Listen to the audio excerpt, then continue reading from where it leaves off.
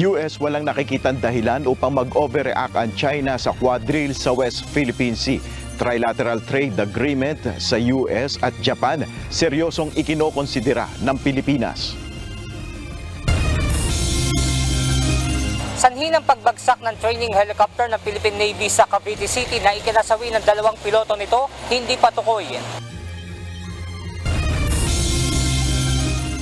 Unconsolidated members ng Manibela at Piston bibiyahe pa rin pagkatapos ng April 30 deadline para sa franchise consolidation.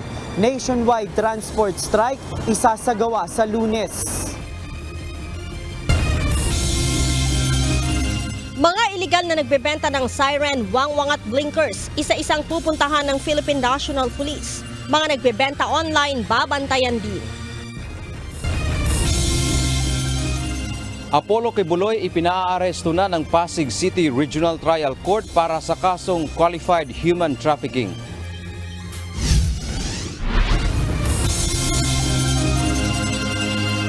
Magandang hapon Pilipinas at sa buong mundo. Una sa ating mga balita. Dumating na si Pangulong Ferdinand Marcos Jr. sa Washington DC sa Amerika upang dumalo sa kauna-una-unahang trilateral meeting kasama ang Japan at Estados Unidos. Kabilang sa mga mahalagang pag-uusapan dito ang ukol sa pang-ekonomiya at maging ang issue sa South China Sea. Mula sa Washington DC, ito ang balita ni Nel Maribuhok. Live Magandang gabi Nel, gaano kahalaga itong uh, trilateral summit na ito lalo na sa mga kinakaharap na hamon ng Pilipinas sa usapin sa West Philippine Sea? Yes, Jun, mahalaga para sa pamahalaang Pilipinas itong trilateral meeting na dadaluhan nga ni Pangulong Ferdinand Marcos Jr.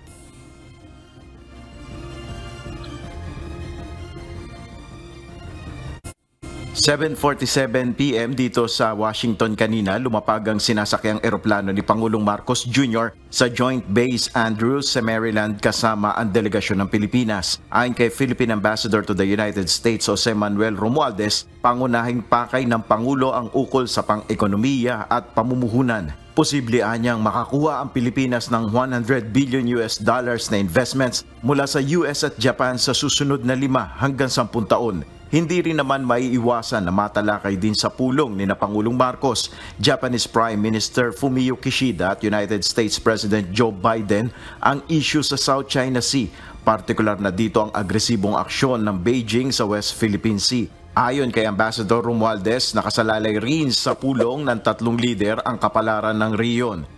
I think changes is not the right word, but this will define the future of our uh, of, of the Indo-Pacific region on where it's going. Sa press briefing naman ni White House National Security Communications Advisor John Kirby, sinabi niya na patuloy na nakabantay ang US sa sitwasyon sa South China Sea. As I said, we are uh, we've been watching uh, those tensions with great concern. Muling nanawagan ng US sa China na sumunod sa international law at sa 2016 arbitral ruling.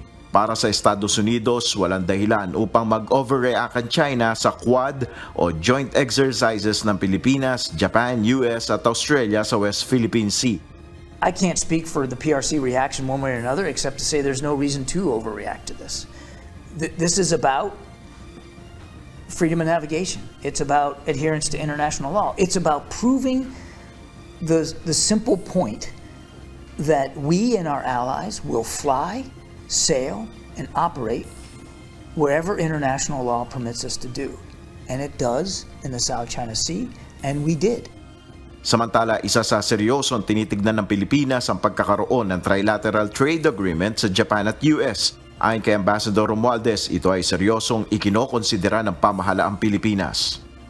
Well, our Trade uh, Department, headed by Secretary Pascual, has been uh, has been really looking into having a free trade agreement not only with the United States but perhaps even with Japan. No?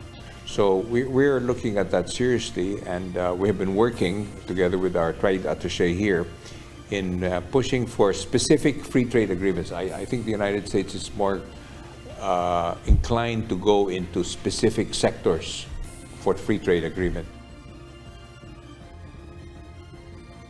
Ng hapon dito sa Washington at alas dos naman ng ah, madaling araw ng biyernes dyan sa Pilipinas, magaganap itong ah, trilateral meeting ah, sa White House. At abangan din natin yung magiging ah, tinatawag na joint vision statement ng tatlong leader ng bansa mamaya. At ah, pagkatapos nga nitong trilateral ah, meeting na ito sa ikatlong araw ng kanyang working visit dito sa Washington, ay ah, bibisita rin si Pangulong Marcos sa kalawang pagkakataon sa Pentagon at ah, ilang mga security officials ng US ang kanyang makakapulong. June. Oh, may narinig ko kanina na sinasabi nga ni ah, Ambassador Romualdez Nel na hindi ito change kundi ito ay future o kinabukasan diyan sa Indo-Pacific region. Nangangahulugan ba ito na mas dadalas o magiging regular na ang mga joint patrols o quad, uh, quadrills na sinasabi mo kanina diyan, Nel? Matay doon sa sinabi ng ah, ah, White House official, ano, si Kirby, sinabi niya na yun ang kanilang ah, pakay, yung mapalakas pa yung kooperasyon sa Pilipinas. At ah, isa sa mga binabanggit nila dyan ay yung joint exercises. So hindi nila bibitawan yon hanggang sa kung halimbawa magpapatuloy yung administrasyon ni US President Joe Biden ay nais pa nilang palakasin ito. At ah, sa nakikita natin doon sa mensahe na ipinaabot ng White House ay ah, posible, June, na ito ay magpapatuloy pa. At yung ah, direksyon din ng ah, foreign policy ng Marcos administration ay yung tinatawag na mul- multilateral approach o yung kasama dito hindi lang yung US kundi yung iba pang mga kaalyadong bansa tulad na lamang ng Australia at Japan na nakita naman natin na nagpakita na dun sa mga ah, joint exercises na nagganap nga dyan sa West Philippine Sea. At isa sa mga inabangan din natin dyan, Jun, ano, kung magkakaroon din ng mga announcement, kung magkakaroon ah, ng ah, joint patrol sa West Philippine Sea, magkasama ang Amerika, Japan at Pilipinas. So titingnan natin yung magiging mga pahayag ni na Pangulong Marcos ng ah, Japanese Prime Minister Fumio Kishida at ni ah, US President Joe Biden mamaya. Dahil sa, sa kanina sinasabi nga ni John Kirby, papaano natin masasabi na mai insist talaga ng Pilipinas at ng mga kaalyado nito yung arbitral ruling na naipanalo natin? Papaano yan? ah? Ah, specifically, Nel, meron ba sinasabing gano'n?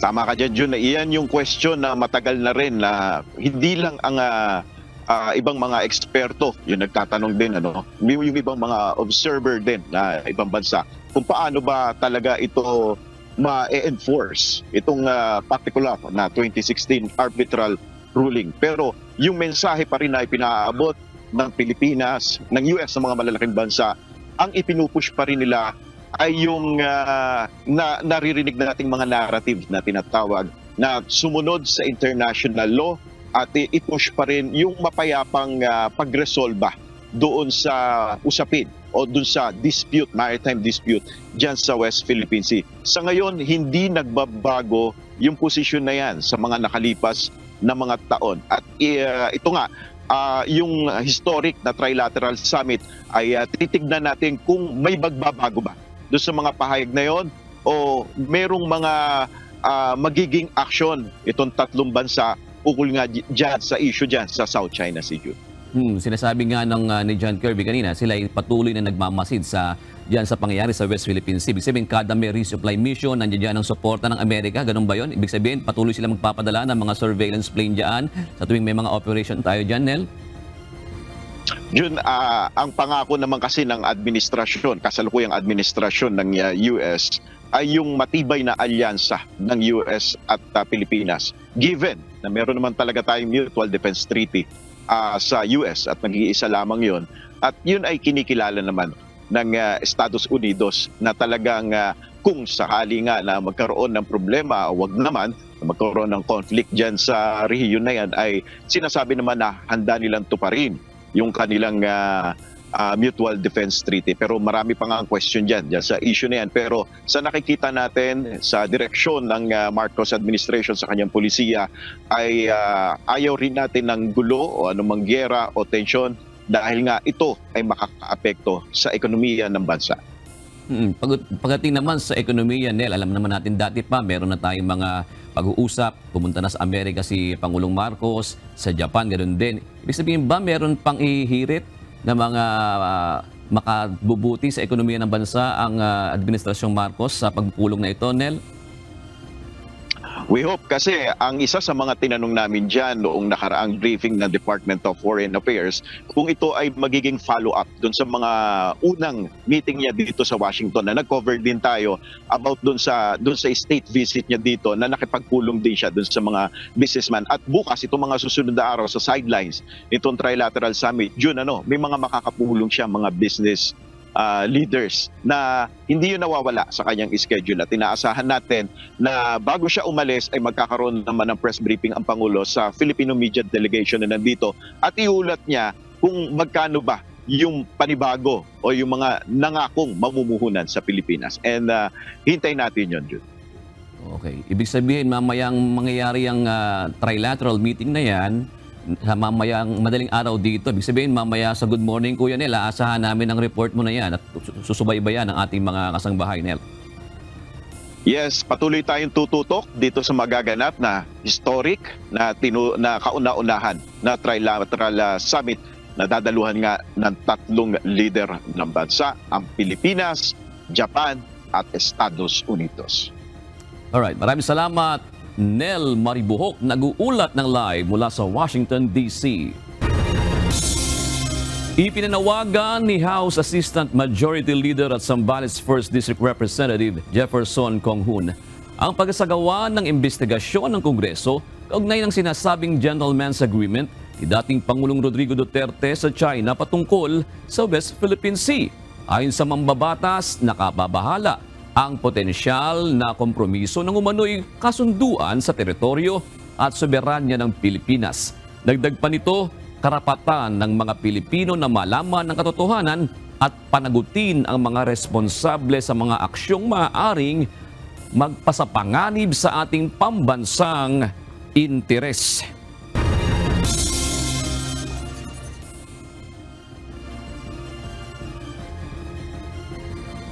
Nagpalabas ng administrative order si Pangulong Ferdinand Marcos Jr.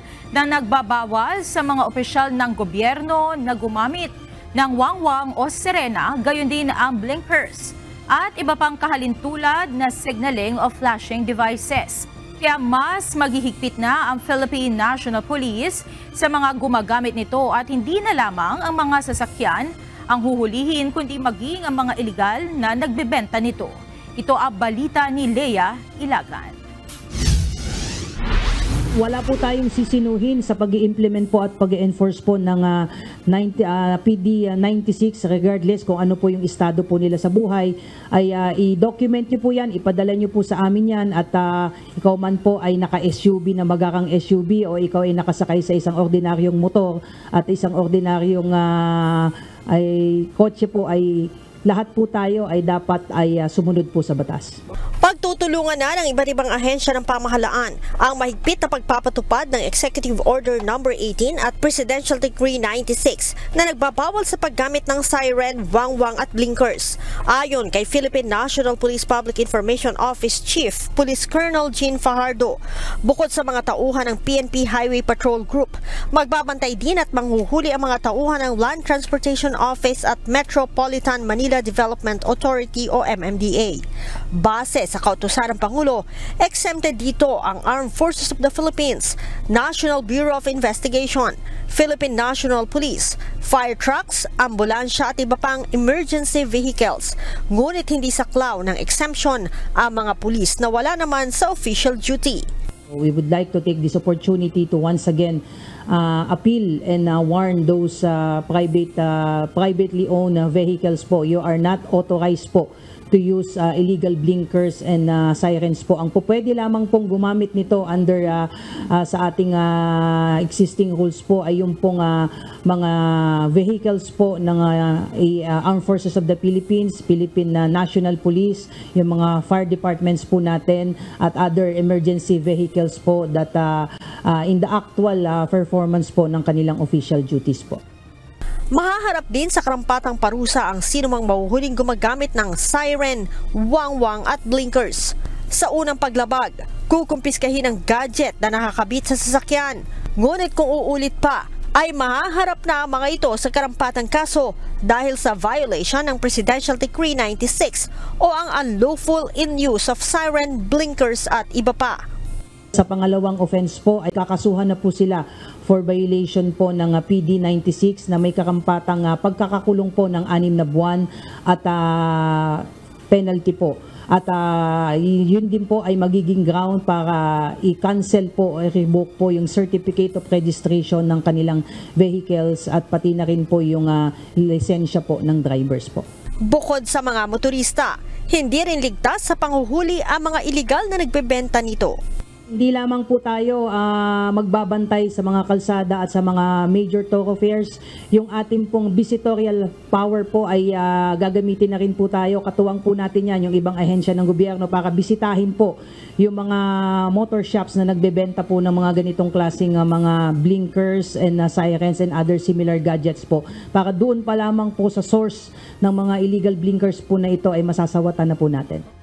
Bago pa maglabas ang Pangulo ng Kautusan, hindi tumitigil ang PNP HPG sa panghuhuli. Sa katunayan, nasa 2,546 na ang kanilang nahuli mula January hanggang March 2024 dahil sa paggamit ng blinker, sirens at iba pang katulad na gadgets, habang nasa 7,931 naman ang nakumpiska ng HPG noong January hanggang December 2023. Leia Ilagan, UNTV, News and Rescue. Diyos ang aming sandigan, serbisyo publiko ang aming pinahahalagahan. Naniniwala ang isang mambabatas na dapat may exemption sa pagbabawal ng wangwang, serena at blinkers sa mga opisyal ng gobyerno. May payo naman ang isang senador sa mga kawani ng gobyerno para hindi na makagamit ng wangwang. Ito ang balita ni Harleen Delgado. as a pub official, dapat uh, responsibility po natin to set an example to our constituents, especially when it comes to dealing with traffic. Suportado ng ilang senador ang naging hakbang Pangulong Ferdinand Marcos Jr. na ipagbawal ang paggamit ng wangwang at serena ng mga opisyal at kawani ng gobyerno. Para kay Senate Majority Leader Joel Villanueva, dapat maging ehemplo ang mga opisyal ng gobyerno pagdating sa traffic. Huwag na po tayong dumagdag pa sa kalbaryo ng ating mga kababayan na araw-araw tinitiis ang traffic sa iba't ibang uh, parte ng lugar ng bansa, lalo na dito sa metro area. Sang-ayon din sa kautusan si Senator J.V. Ejercito dahil tila nakagawian na umano ng mga opisyal ng gobyerno na gumamit ng mga sirena, curse at patrol escorts dahil feeling entitled at siya mismo hindi umano gumamit at gagamit ng wangwang. Para naman kay Senator Grace Poe, pantay-pantay dapat lahat sa kalsada dahil ang biyahe ng mga opisyal ng gobyerno kasing importante ng biyahe ng ordinaryong Pilipino. Ngunit para kay Presidential Sister Senator Amy Marcos, dapat exempted ang mismong Pangulo rito. Ganoon din ang mga bumibisitang foreign officials sa Pilipinas. Eh kasi hindi naman kasi practical. Halimbawa, kapag merong bisita, may state guest or yung uh, state of the nation address. Grabe talaga ang traffic at marami naman nagpo-protesta. Naintindihan naman natin kung yung Pangulo ay magagamit ng wangwang patungo sa Kongreso o di kaya yung bisita na opisyal from other uh, countries should be given the courtesy of uh, avoiding the traffic. Ngunit kung si Senator Ronald De La Rosa ang tatanungin, kung maaari nga, dapat mismong ang Pangulo ang hindi paggamitin ng wangwang para sumunod ang lahat ng opisyal at kawani ng gobyerno. Ma- may mas ideal nga kung pati ang Pangulo hindi gagamit, di ba? Una, unahin ang Pangulo. La- lahat wala hindi gagamit ng wangwang. Imposible mangyari yan, imposible mangyari. Imposible dahil presidente, nasa protocol nila yan na kailangan talaga gumamit ng ganun. Tiwala naman ng senador na tatalima sa kautusan ang lahat ng mga opisyal at kawani ng gobyerno. Maging siya, handaan niyang sumunod sa direktiba. Siguro, yung mga government officials susunod din yan. At ah, kung nagmamadali ka, siguruhin mo para makarating ka, maaga ka dapat umalis sa bahay mo para hindi ka na makagamit ng wangwang. Ah, minsan, gumagamit ako ng kwan, may motor na, na highway patrol, Mag- gumagamit ako, pero pag pagbabawal yan, hindi, hindi na tayo gagamit. Sa ngayon, nakikita ni Senator De La Rosa na dapat muling bisitahin ang Land Transportation and Traffic Code kaugnay ng pagbabawal sa pagbebenta ng wangwang at parusa sa mga lalabag. Harleen Delgado, UNTV News and Rescue. Diyos ang aming sandigan, serbisyo publiko ang aming pinahahalagahan. Nagpalabas din ng panibagong executive order si Pangulong Ferdinand Marcos Jr. kung saan nililimitahan ng mga opisyal ng gobyerno na papayagang gumamit ng protocol license plate. Kasunod ito ng dumaraming reklamo hinggil sa hindi otorisadong paggamit nito na nagkukompromiso sa integridad ng Vehicle Registration System. Sa ilalim ng Executive Order No. 56, lilimitahan na lamang mula 1 hanggang 10 11 at 14 ang papayagang license plate. Kabilang narito ang Presidente, Vice Presidente, Senate President, Speaker of the House at Chief Justice ng Supreme Court. Gayon din ang Cabinet Secretaries, mga senador at miyembro ng mababang kapulungan ng Kongreso, pati na ang mga maestrado ng Supreme Court, Court of Appeals, Court of Tax Appeals, Sandigan Bayan at Solicitor General.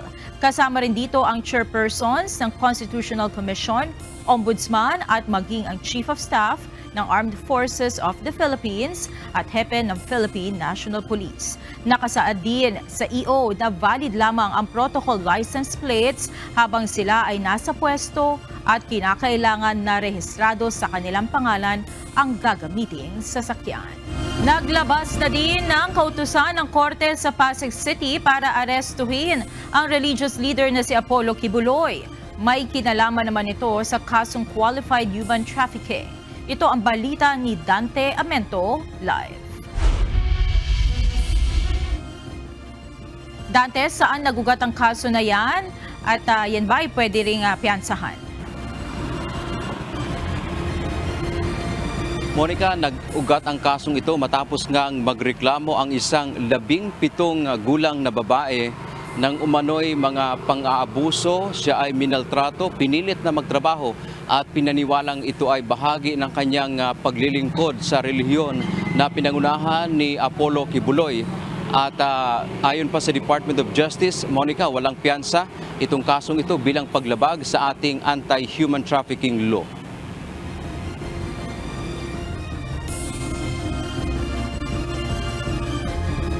Ipinag-utos na rin ng Pasig City Regional Trial Court Branch 159 ang pag-aresto kay Apollo Kibuloy kaugnay sa kasong Qualified Human Trafficking.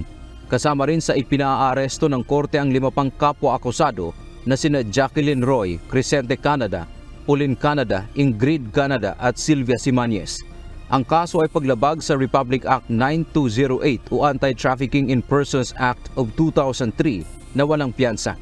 Sa desisyon ni Judge Rinelda Estacio Montesa na inilabas ngayong araw, hindi nito pinagbigyan ang motion ng kampo ng religious leader na inihain noong March 21 na ipagpaliban o suspindihin ang proceedings sa kaso at huwag munang maglabas ng warrant of arrest.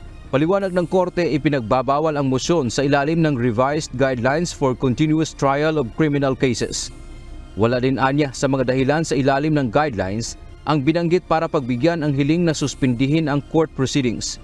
Dagdag pa ng korte matapos ang pag-aaral sa kaso kasama ng supporting documents na isinumite, nakitaan ng sapat na batayan para ipaaresto si Kibuloy at iba pang akusado.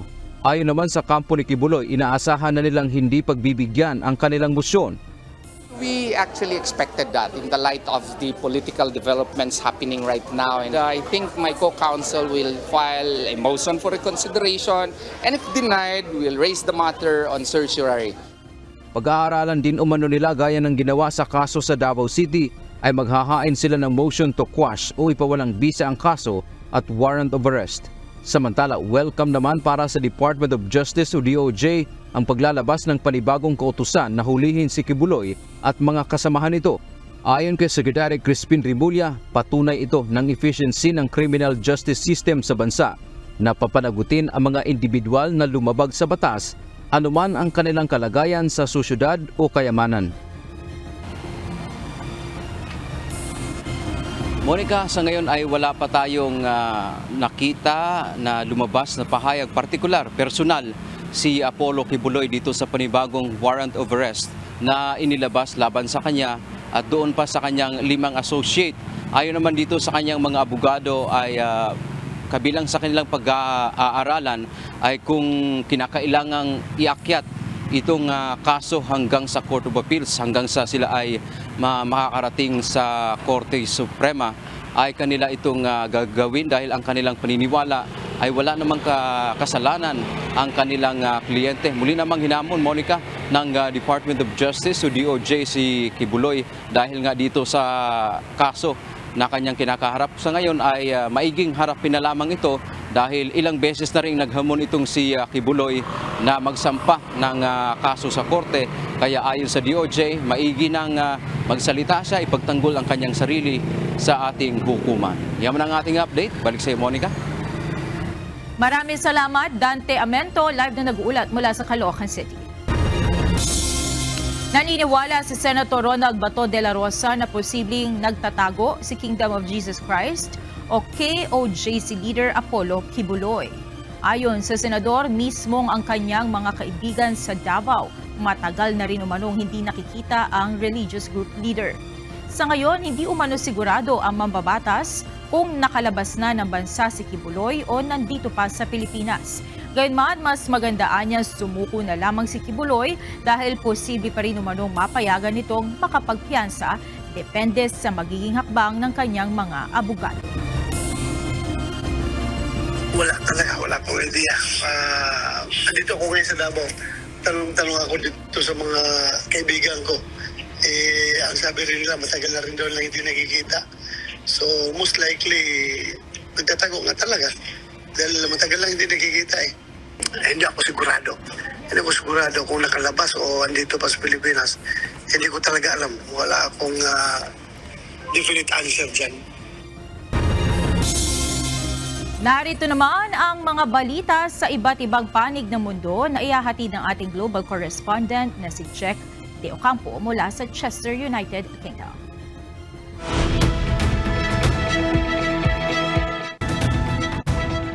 Magandang araw sa iyo, Jack. Jack, alam naman natin na si Pangulong Marcos ay uh, mayroon ngayong trilateral meeting no sa uh, Japan at Estados Unidos na may kinalaman sa uh, security. Eh diyan ba sa uh, United Kingdom, ano yung mga malakas na bansang may security uh, security ties ang uh, United Kingdom? Yes, magandang araw sa Monica. Alam naman natin na ang United Kingdom. Ay masabi nga natin sobrang friendly, madaming alay sa United Kingdom. Uh, kabilang na dito yung sasabi natin na Commonwealth of Nations kung saan leader si King Charles doon sa 56 member countries. At bukod dyan, ang mga main allies ng United Kingdom ay ang uh, United States, Australia, France, Germany, Canada, Belgium, India, Hungary, at ang the Netherlands. Pero amongst them, ang pinaka-close ng United Kingdom, historically speaking, ay ang United States. At uh, alam natin na they fought together doon sa dalawang World War, Cold War, magyari sa Middle East. At uh, katunayan hanggang sa ngayon ay may mga US ba- military bases pa rin dito sa United Kingdom. Sa pagkakalam ko, mula nung 100 uh, military bases noong 1990s, meron pa ring ngayon nasa labing tatlo all over the United Kingdom. Yes, Monica. Sige, Jack, ibigay mo na ang mga balita sa iba't ibang panig ng daigdig.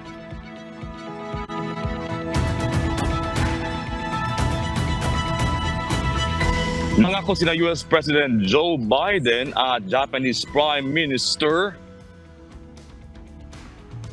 Fumio Kishida ng mas maigting na ugnayan sa pagitan ng dalawang bansa. Kabilang na rito ang pagpapalakas ng security ties kontra China. Ito ang balita ni Lynn Perez. Mr. Prime Minister, through our partnership, we've strengthened the alliance. We have expanded our work together. We've raised our shared ambitions.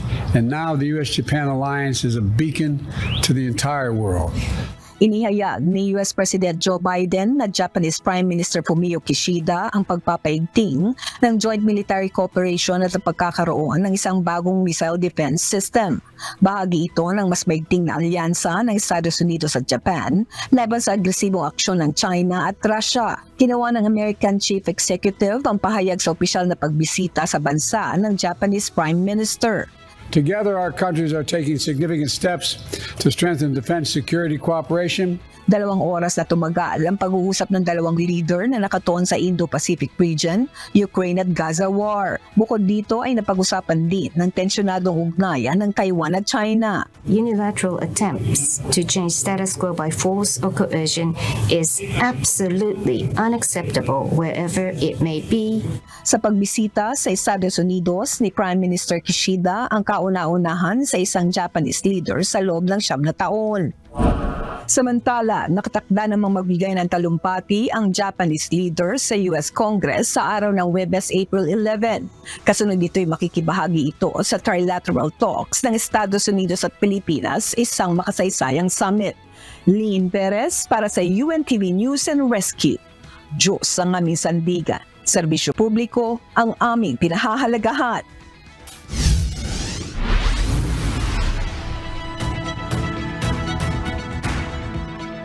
Patay sa airstrike sa Gaza ang tatlong anak ng Hamas political leader na si Ismael Haniyeh.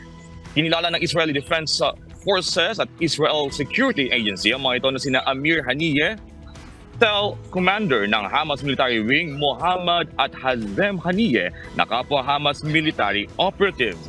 Sila ay napatay ng bombahin ang kanilang sasakyan sa Al-Shati Refugee Camp sa northwest ng Gaza City.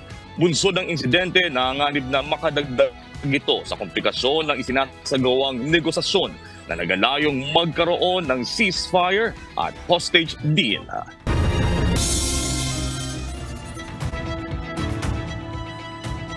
At yan ang mga balita mula sa iba't ibang panig ng mundo. Mula dito sa Chester, United Kingdom. Ako si Jack De Ocampo. Magandang gabi. Umakyat na sa 15 ang bilang ng mga Pilipino na nasaktan sa naganap na lindol sa Taiwan. Tiniyak naman ng Department of Migrant Workers na lahat ito ay nabigyan ng medical treatment at nakalabas na ng ospital. Sa kasalukuyan ay nagpapagaling na sa company dormitories at accommodations ang mga nasabing Pinoy. Naka-schedule na rin ang follow-up check-up nila. Patay ang dalawang piloto ng Philippine Navy nang bumagsak ang pinalilipad nilang training aircraft sa Cavite City kaninang umaga. Sa ngayon, iniimbestigahan na ng Philippine Navy ang dahilan ng aksidente. Ito ang balita ni Benedict Samson, live. Magandang hapon, Benedict. May initial lead na ba ang mga otoridad kung ano ang sanhi ng pagbagsak nito? June, ah, sa ngayon June ay wala pa tayo uh, nakakalap na latest ah, information patungkol nga dito sa isinasagawang investigasyon sa pagbagsak ng ah, dalawang training helicopter ng Philippine Navy dito sa Cavite City kanina.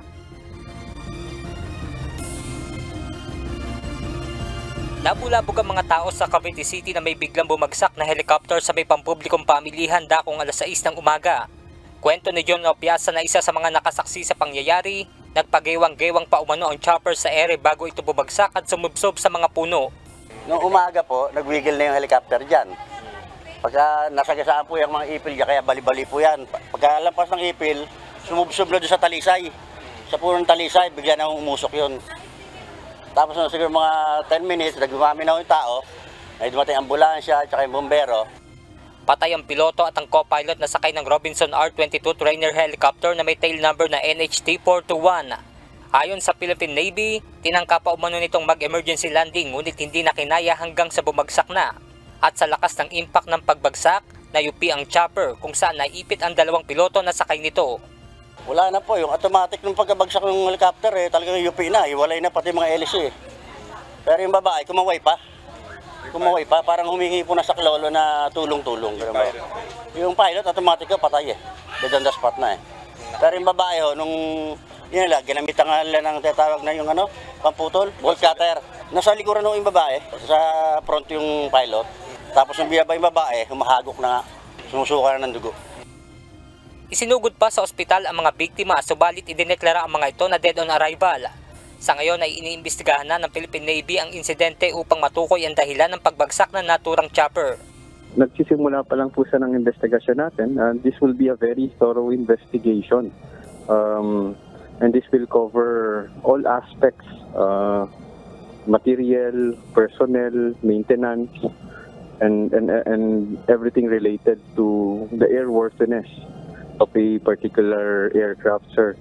Tiniyak ng mga otoridad na mamadali nila ang resulta ng investigasyon upang maiwasan na maulit ang trahedya. Ayon sa Philippine Navy, kapwa mga biyasa at may sapat na kasanayan sa pagpapalipad ng chopper ang dalawang biktima. Regardless kung mahangin o hindi, we are we have very experienced pilots on board na na no, nagpapalipad ng R22 na yon na nag-crash kaninang umaga that uh, we know that uh, uh, kahit malakas ang hangin ay kayang-kaya nilang paliparin ang uh, ating mga helicopters. Labis na ikinalungkot ng Philippine Navy ang malungkot na pangyayari. Nagpaabot na rin sila ng pakikiramay sa naulilang kaanak ng mga biktima at tiniyak ang pag-aabot ng kinakailangang tulong para sa mga ito.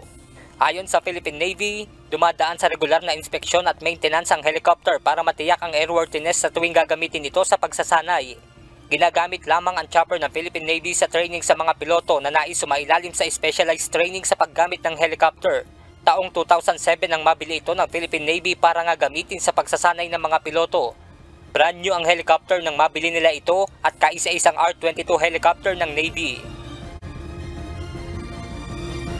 So yun kanina may mga tauhan nga ng uh, Philippine Navy na pumunta doon sa crash site para magsagawa ng uh, pag-iimbestiga. At kanina rin ay nakuha na yung labi ng isang uh, piloto na nasawi sa ano, sa pagbagsak nitong uh, training helicopter June. Oh, uh, Benedict, meron din bang mga nasaktaan doon sa pagbagsak, doon sa vicinity o doon sa uh, paligid ng area na yon, uh, Benedict? Yun, ayon kay Mayor Denver Chua ay wala namang nasaktan doon sa pagbagsak nga. Walang sibilyang nabaks, nasaktan sa pagbagsak nitong uh, helicopter. Mm, Benedict, saan ba nanggaling yung helicopter? Kasi sabi mo sa Cavite City bumagsak ano, saan ba ito mismo nanggaling at gaano ito kalayo doon sa crash site? Sa statement na inilabas ng uh, Naval uh, Affairs kanina ay galing ito sa Sangli Airport uh, upang nga magsagawa ng uh, training. Pero dito nga, mal- halos malapit lang to doon sa Sangli Airport ay doon nga siya bumagsak doon sa may paleng, uh, malapit din sa palengke dito nga Cavite City. Mm, eh, uh, ibig ba sabihin nito, Benedict, uh, pabalik na itong helicopter mula sa kanilang training? Ganun ba yun, uh, Benedict? Yan yung itinanong natin kanina doon sa nag-iimbestiga. Uh, wala pa silang uh, ibinigay na detalye sa atin kung pabalik na ba o kakakandis pa lang yung helicopter nung mangyari yung uh, insidente. Alright, maraming salamat Benedict Samson nag-uulat ng live mula sa Cavite. Sa iba pang balita, hindi magpapatinag ang mga miyembro ng transport group na Manibela at Piston dahil pagkatapos ng deadline ng franchise consolidation sa April 30 ay patuloy pa rin silang papasada. Sa lunes muling magsasagawa ng nationwide transport strike ang dalawang transport group para tutulan ng Public Utility Vehicle Modernization Program o PUV. Ito ang balita ni JP Nunez.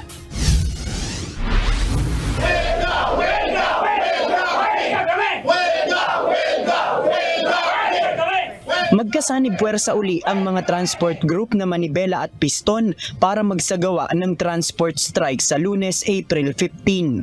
Ayon sa dalawang grupo, muli silang magtitipon sa University Avenue sa Diliman para sa caravan at saka tutungo sa Mindiola o sa EDSA Shrine. Nasa 80,000 hanggang 100,000 umano na mga miyembro ng dalawang grupo ang lalahok sa transport strike sa buong bansa. Dalawang araw silang magsasagawa ng tigil pasada prangkisa habang ang natitirang araw ng Abril ay gugugulin sa pagsasagawa ng mga programa at kilos protesta upang tutulan ang Public Utility Vehicle Modernization Program o PUVMP. Nanindigan naman ang Manibela at Piston na bibiyahe pa rin sila pagkatapos ng deadline ng franchise consolidation sa April 30. Tatakbo kami dahil ang sabi ng Kongreso, Kongreso lang ang pwedeng magtanggal sa aming mga prangkisa. Tatakbo at tatakbo kami kung huhulihin nyo kami. Kami na mismo ang lalapit sa inyo sa opisina ng LTO at LTFRB. Ibabalagbag namin dyan yung aming mga jeepney. Hindi ho kami natatakot na kayo, na kayo ay manghuli sa amin. Kayo po ang matakot. Sa pahayag ni Pangulong Ferdinand Marcos Jr. kahapon, sinabi nitong wala na talagang extension ang deadline ng franchise consolidation. Nakasaad sa PUVMP na kapag hindi nakasama sa kooperatiba ang mga jeepney bago ang deadline, automatic na mapapasuna ang kanilang prangkisa at hindi na papayagan pang makapamasada. Iginihit naman ng piston na kaysa palitan ng mga imported na modern jeep ang mga traditional na jeep ay tulungan na lang ang mga local manufacturer na gumawa ng modernized unit dito sa bansa para makalikha ng trabaho para sa mga Pilipino. Suportahan po natin yung mga local industry, ang gawang Pilip, ang gawang Pilipino upang sa ganon hindi makapasok itong mga foreign investor na mga dayuhang minibus. Kapag ganyan ang sitwasyon, lilika ng maraming trabaho dito sa ating bansa. Kumpiyansa ang LTFRB na hindi naman umano mapaparalisa ng dalawang grupo ang mga biyahe sa Metro Manila kahit dalawang araw pa silang magtigil pasada. Nagbabala naman ang ahensya na tatanggalan ng prangkisa ang mga jeepney na sasali sa tigil pasada. Pag nakita ho namin yung mga jeepney nila, pwede ho namin silang tuluyan hong tanggalan ng prangkisa. Dahil meron hong mga iba pa na may prangkisa pero tila sumasama sa mga grupong ganito.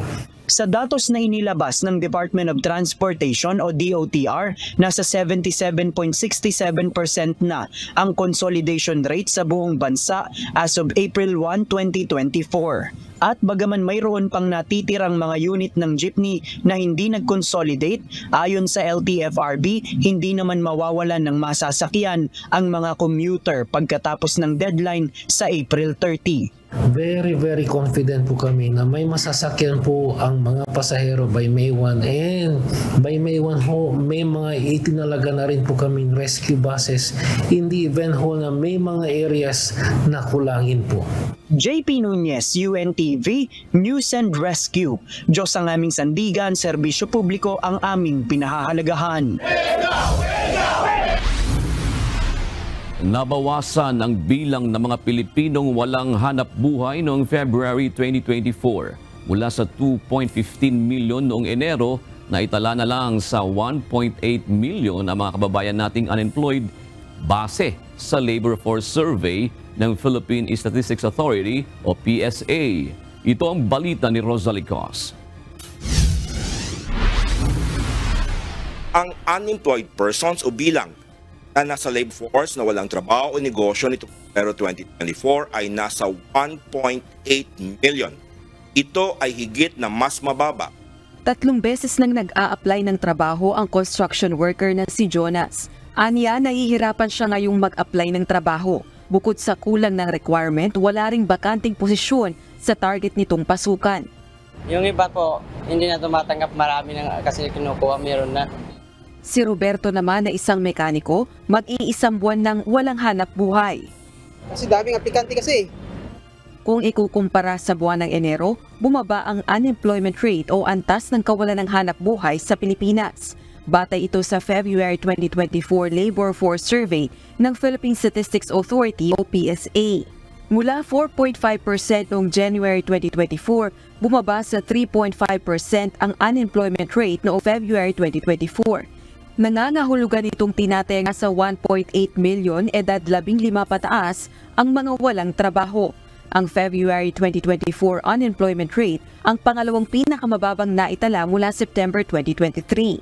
Samantala, tumaas naman sa 96.5% ang employment rate o katumbas ng 48.95 milyon na mga kababayang may hanap buhay. Mahigit 3 milyong mas mataas ito kaysa buwan ng Enero.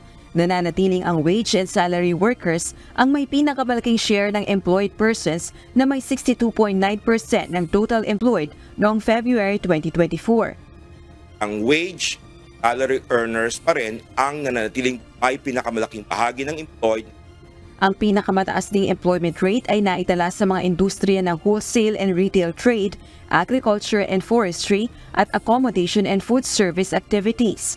Pinakamarami namang nawala ng trabaho sa fishing and aquaculture at information and communication. Batay naman sa Economist Solon, Albay 2nd District Representative Joey Salceda, ang pagkakaroon ng dagdag trabaho sa bansa ay bunsod ng mas mainam na kalagayan ng negosyo sa ilalim ng Marcos administration. Gayunman, giit ng mambabatas habang patuloy ang pag-inam ng kalidad ng trabaho sa bansa, nananatiling prioridad ang pagkakaroon ng akmang sweldo. Sa gitna ito ng patuloy na pagtaas ng presyo ng mga bilihin sa bansa, pangunahin na ang bigas. Rosa Licoz, UNTV News and Rescue. Diyos ang aming sandigan, serbisyo publiko ang aming pinahahalagahan. Simula na ngayong araw ang adjusted na oras ng pasok sa mga pampublikong paaralan sa lungsod ng Maynila. Nagiging distraction na sa pag-aaral ang epekto ng mainit na panahon para sa ilang mga estudyante. Ito ang balita ni Jed Neresina. Maganda itong ginawa ng DepEd na ano ah, hopefully lang ito ay patupad hanggang ganito ka, yung nararanasang init dito sa atin. Simula na ngayong araw ang shortened period classes sa mga pampublikong paaralan sa lungsod ng Maynila. Kasunod ito ng memorandum na ibinaba ng Division of City Schools Manila kung saan hanggang alas 12 na lang ng tanghali ang pasok ng mga estudyante. Kaya para sa mga estudyanteng si Cristel at Sara, mas mabuti na umaga na lang ang kanilang pasok, lalo na at ramdam na ramdam na nila ang init sa loob ng silid-aralan kapag hapon na. Yung init po na parang hindi rin po kami makakapag-focus ng ganun kasyado sa pag-aaral namin. Parang madidistract po talaga lahat kami. Kahit po yung mga teacher namin na nagtuturo sa amin. Para sa akin po, very helpful po na wala na pong pasok yung panghapon kasi bukod po sa mababawasan yung crowd, yung crowd dito sa school namin, mababawasan na din po yung init. Para naman kay Teacher Ronette na isa ring magulang, mainam ang naging hakbang ng lokal na pamahalaan na gawin na lang sa umaga ang klase, lalo na't maaaring magdulot pa ng sakit sa mga bata ang sobrang init ng panahon bilang magulang at isang guro na din na naging masaya kami kasi nga yung sa mga bata kasi dahil sa sobrang init may mga nahihilo, may mga dumudugo ang ilong, tapos merong sumusuka. Sobrang init kasi alas 10 pa lang ng umaga, tagaktak na ang pawis ng mga bata. Para napakainit sa classroom, lalo pa ang bata mo is 38. Ngunit para sa mag-aaral na si Samantha, na mas maigi sana na sa bahay na lang sila dahil nag-aalala rin siya sa kanyang mga kapwa kamag-aral. Dapat na lang po sa bahay kami mag-aral dahil sa sobrang init po, yung mga ibang estudyante naimatay na lang po at marami din pong mga nanin na namumblema sa mga anak nilang naimatay sa school, bigla na lang po silang tatawagin, sabihin na naimatay daw po yung anak nila at magpapagamot po sila. Kapag ganitong matindi ang init ng panahon, hindi talaga maiiwasan ang ganitong mga pangyayari. Kaya gaya ng lungsod na Maynila, ilang lungsod na rin sa NCR ang nagpatupad ng adjustments sa oras ng pasok sa mga paaralan. Sa Quezon City, ang abiso ng 5.30 ng hapon ang magiging batayan kung face-to-face, synchronous o asynchronous ang magiging klase sa mga pampublikong paaralan kinabukasan. Ayon sa memorandum ng Division of City Schools Quezon City, kapag ang heat index ay umabot ng 40 degrees Celsius, ay otomatikong ililipat na sa alternative delivery mode of learning ang pasok sa lungsod. Samantala sa Malabon simula ngayong araw April 11 hanggang April 19, ipatutupad ang mas pinaikling oras ng pasok ng mga mag-aaral. Ang morning shift ay magsisimula ng alas 6 hanggang alas 10 ng umaga habang ang afternoon shift ay simula alas 2 ng hapon hanggang alas 6 ng gabi. Kung sakaling umabot naman sa 42 degrees Celsius ang heat index, ay agad suspendido na ang face-to-face na klase at ipatutupad ang asynchronous classes o modular learning.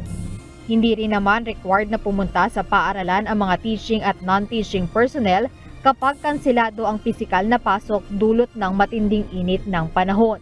Habang binawasan na ng Makati City ang oras ng pasok simula noong lunes April 8. Ang morning shift ay ginawa ng alas 6 hanggang alas 10 ng umaga, habang ang afternoon shift naman ay mula 3.30 ng hapon hanggang 7.30 ng gabi. Adjusted na rin ang pasok para sa kinder hanggang senior high school ng Caloocan City, kung saan bukas April 12, alas 6 hanggang alas 9 ng umaga lang ang pasok ng morning shift at alas 9 ng umaga hanggang alas 12 ng tanghali naman ang afternoon shift. Nagbaba rin ang pamantasan ng lungsod ng Muntinlupa na online synchronous classes sila ngayong araw April 11. Jed Meresina, UNTV News and Rescue. Diyos ang aming sandigan, serbisyo publiko ang aming pinahahalagahan. Hihingi ng paglilinaw ang Department of Education kay Pangulong Ferdinand Marcos Jr. sa mga bago nitong pahayag kaugnay sa pag re-revert sa lumang school calendar. Kasunod ito ng mga sinabi ng Pangulo kahapon na gagawin ng pamahalaan ang lahat ng paraan upang mapaaga at mapabilis ang pagbabalik ng June to March school schedule. Tiniyak naman ng DepEd na patuloy silang nagsusumikap na mapagbuti pa ang kalidad ng edukasyon sa bansa sa gitna ng mga kinaharap na hamon.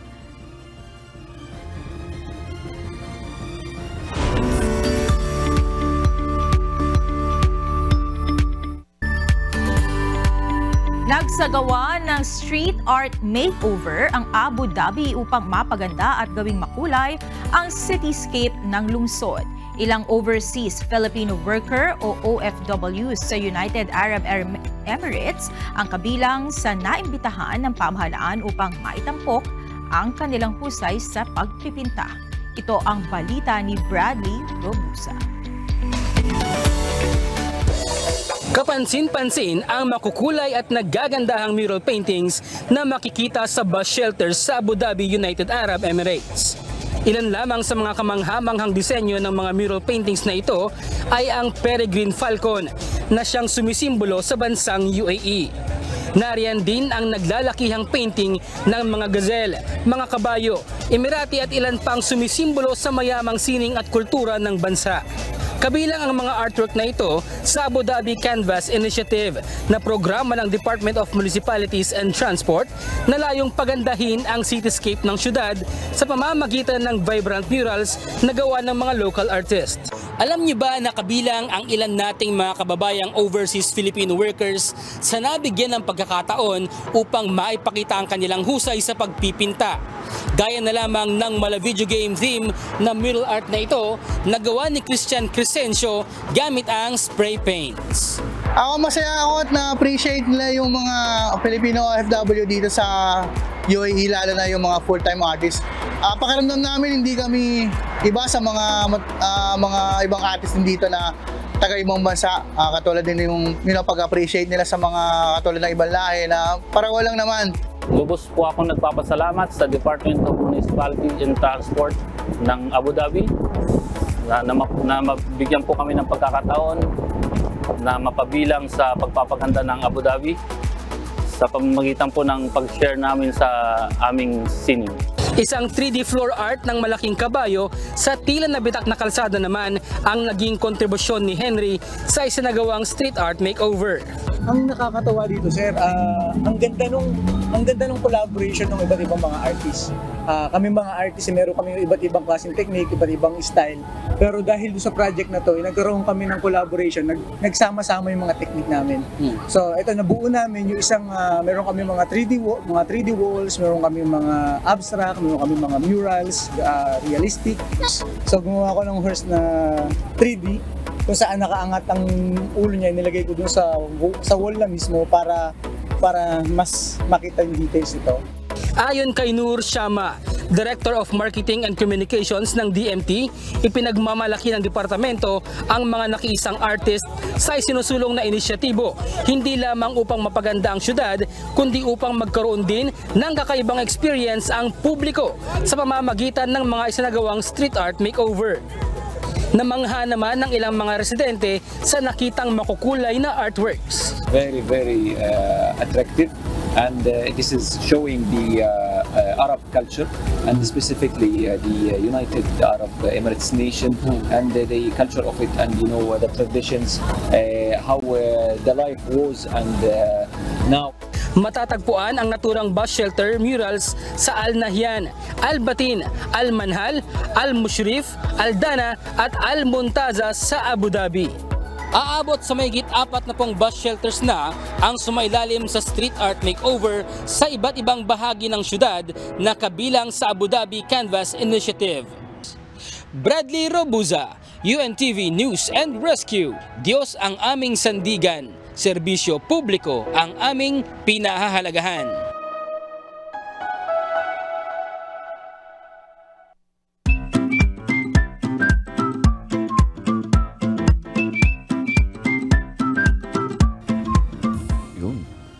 Ganda nung ano. Gusto ko lang ah, sabihin. Ay, murals. maganda, no? O, yung mga Mm. murals and sana meron din ganong version sa Philippines, no? Kasi hindi naman tayo kulang sa talento. Oo, eh. yung mga ang magagaling diyan mga taga-Angono. Mga Oo, mural art paint. capital of the Philippines, tama ba? Mm, correct, ano? correct. Ayan. Kayang Kesa kaya ng may mga mga Pilipino. vandal-vandal tayong Correct. nakikita. Mm-mm. Eh, ganyan, ganyan na lang yung gawin. Dapat ganun ang ginagawa talaga sa mga lansangan pagka Oo. ano, pinapaganda talaga. Oo. Diba? Ito sa, ano ba, bus stop ba? Oo, Yung parang mga ganon. Bus shelter kung tawagin nila. Bus shelter ang Mm. tawag nila. Pwede rin naman sa atin. Mga terminal, parang ganun, ano? Mm. Ang ganda-ganda. Ma maaliwala sa mata. Maganda sa mata habang naghihintay ng bus. Correct.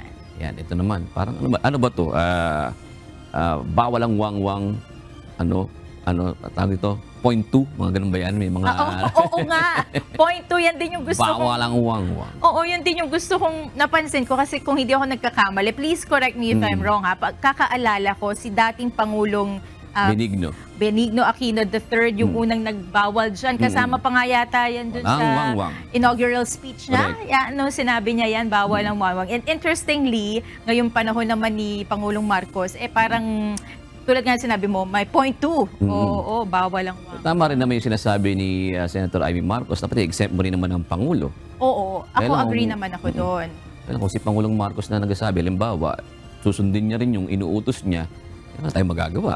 Pero Mm. ang hirap sa ano nun ha, Mm-mm. sa security detail ng Correct. Pangulo kung pagbabawalan. Pero maganda nga yun kasi nung ah, mga, kasi syempre ng panahon ni Pinoy, dating Pangulong ah, Aquino, medyo na, na, na-enforce talaga yan Correct. eh, di ba? Pero habang tumatagal, Mm. Mahihiya pagka gumamit ka ng, ng wangwang. wangwang, oo. Pero syempre exempted yung ambulansya, Mm, correct. yung fire trucks, mga exemptions po yan. Pero habang tumatagal kasi, may mga, may nababasa kasi akong mga ganyang, ah, ano ba yun, hindi naman report, ah, hinaing Oo. ng ating mga kababayan na minsan meron silang nakakasabay na nakawangwang, Mm-mm. na obviously hindi naman kasama dun sa mga exemptions. So mainam na ngayon, natitingnan ulit yan. Correct. Dapat ma- makita yung protocol talaga. Oo, Ipakita. oo. Maganda yung sinabi nung sa report natin na minsan yung ah, importance ng Mm. mga nagtatrabaho sa gobyerno, yung importance ng lakad nila, Correct. kasing importante rin naman ng Pare-pareho lakad oo, ng mga ordinaryong Pilipino. Totoo Pero naman. mapagbigay naman tayo. Ang mga Pilipino ma- na- maunawain yan eh. Ba, Pangulo naman yan. Na, Ako naiintindihan ko naman yun. Kawawa naman yung security detail nila. ang hirap naman nun kung kung kumbaga walang easy access, no? Ma- na, ang hirap talaga nun. Tsaka nga di ba dati, nung, natatanda mo nung November last year, na ano, eh, parang ah, naging big deal din yung num- plate number 8, yung mga gumagamit na? Ah, yung pumapasok ba to sa ano? Hindi naman, pero may mga gumagamit na gano'n na hindi naman talaga sila dapat gumamit. Yung mga gano'n eh, nagiging, kumbaga, pinagmamalaki nila yung gano'n, di ba? Paano sila nakakakuha ng Ayun nga ang ano doon. Eh, kaya nga parang pinarecall yun kasi nga may mga outdated na na gano'n. Pero ngayon meron namang mga bago sigurong lumalabas. Pero ganun ba talaga yun? Tanong natin kay Rosalie. Pagka numero 8 ba, dapat likod at harap yon O dapat, Harap lang. oo, parang gano'n. Kasi kanina may nakita ako, harap at likod eh. Ah, kanina? Mm. Ah, baka legit yun, hindi ba? Legit siguro, pero ano mga rules nila doon? Oo. Ah, dapat ba Harap at likod. Oo. Oo. Eh, Tanong natin kay Rosalie Cos sa ating ah, Congress beat natin dyan, reporter natin. Ito naman, Trilateral Summit. Yan. Si Nel, nasa, nandun na, umabot na. Mm, kasi baliktad ng oras natin sa kanya. Sa GMK, mag-update mamaya yun. Mm. Eh, ano ba talagang, kasi talagang Ito bang, nakalimutan ko ang tanong kanina, ito bang ah, trilateral summit ito, ilang, ilang buwan ba ito pinagplanuhan? O ito'y bunsod talaga noong aggression na nangyayari? Nangyayari, yan, oo. Parang Ito ba ay nakaschedule talaga Correct, ahead of time mm-mm. o parang emergency ba to Mm-mm. dahil nga dun sa nangyari? Kasi ito na yung magiging future eh. Kasi pag future to, magiging maiiba talaga yung atmosphere diyan sa West Philippine Sea o sa South China Sea. Mhm. Kung, kung ganyan ang mangyayari. Oo. At saka maganda yung naitanong mo kay Nel, no, na bagamat meron nga tayong pinanghahawakan na Mm. arbitral ruling, Mm-mm. at ah, kumbaga ito yung kinakapitan natin, Correct. ang tanong kasi, papaano nga ba yan ipupush? Correct. Kung hindi ito kinikilala noong isang... Oh, sabi isang ng China, illegal yan. Oo, ganyan, hindi- illegal daw yun. hindi namin kinikilala Mhm. yung ah, kautusan na yan. So, pa- pa- pa- paano ba yung gagawing ah, pagbabago Correct. kung meron man after ng trilateral meeting? Yan. Oo. Marami ang abangan tayo dyan. Sa susunod na mga raw remission, titingnan natin kung ano magiging... ah, mer- meron pa nga mga nagmi-memes, di ba, sa Facebook. Eh kung mo nag... ah, patrol yung ano yung US, yung Japan, yung Australia at saka Philippines, 'di ba? May mga barkong ano doon, pandigma yung atin, no? May mga andon. Sabi, dapat ganyan ang binabandera natin pag nagro-raw remission eh. Hindi po ganun Ah. yun. Pag raw remission, wala pong kinalaman ang ano diyan, ang Oo, Navy. oo, Kasi ano yan eh, dapat mga Coast Guard lamang po. Oo. Yun. Abangan Yan. natin, GMK, no? May Correct. update na si Nel. Mm-mm. Oh, Monica. Mga ano tayo, mga, syempre yung ano naman, mga suhestyon, reaksyon ng ating mga kababayan, ng ating mga kausi. Correct. Ngayong gabi, ang ating babasahin. Yan, bigyan daan natin. Yan. Unahin na po natin. Usapin pa rin ng blinkers at wangwang. Sabi ko na nga ba, eh, maraming makakarelate dyan eh. Ito si Angelo Zita. Sabi niya po, dapat check nyo rin mga private vehicles ng mga empleyado ng gobyerno. Daming ma- may blinkers. O nga po, yan nga po sinasabi ni Pangulong Marcos. Doon po sa mga empleyado, kawani ng gobyerno, doon niya po ipinag-utos talaga yan. Mhm. Sabi naman ni Romeo Butch, tama po yan. Walang wangwang, pantay-pantay tayo sa daan. Dalawa ang paa natin. Mapa-official ka man, natawa rin ako, mapa-official ka man o civilian. Kung may lakad o nagmamadali sila, tayo din Mhm. nagmamadali kaya walang palakasan sa iba nga pawis na pawis eh. Yan. Oo nga naman. Eh, eh unahin ko nang i-shoutout, Monica, yung ating ah, senior correspondent. Nasa Justice Beat, si Dante Amento. Happy birthday, Dante! Yan. Ah, birthday niya ngayon. Sikat yan. Dante, happy birthday! Alam ba, nung uh, may kausap ako minsan sa probinsya, ang unang hinanap, Si UNTV. Oh, dati amento ba yan? Wow, talaga. Sikat pala si Dante. Sikat si Hermano Dante. At uh, shoutout din po sa ating mga kausi na sina Frankie Option, si Danilo uh, Kedit at si Richard de la Cruz. Yan. Din po kay Leia ah, Figuro, Arnel Fernandez at Jay Antonio. At narito naman po ang salita ng Diyos na ating sandigan mula sa aklat ng Lucas 12 at 15 na nagsasabi. At sinabi niya sa kanila, Mangagmasid kayo at kayo'y mangag-ingat sa lahat ng kasakiman sapagkat ang buhay ng tao ay hindi sa kasaganaan ng mga bagay na tinatangkilik niya.